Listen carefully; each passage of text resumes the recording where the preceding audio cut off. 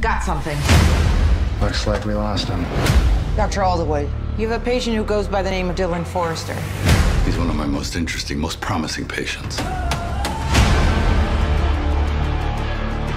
When was the last time you spoke? Has he done something? Then you mean attempted murder, then yeah. Well, that's progress. Is there anything you need to tell me? Mm, no? You're not the same man you used to be, Dee. Dee's younger brother, Professor Sean Forrester, he's dead. The funeral is today. You got a lot of nerve coming here. Get me someone in the Washington State Police. The FBI. He broke his parole. Short of him. Move. You know the routine. I didn't expect them to be here so soon. It can't be the FBI. Not exactly. We search the house first and find out. No one dies until we find out what they know. I'm trying to do my best here. No, don't be too hard on yourself. Oh, sure. And I'll shoot you both.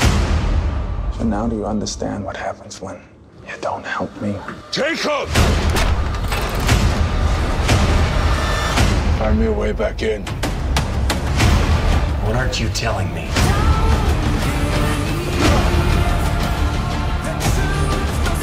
Sean must have told you it's here on the island.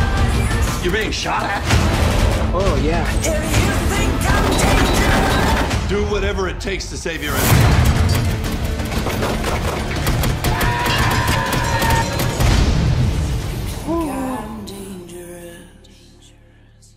Did you really kill people, Uncle D? They were really bad people.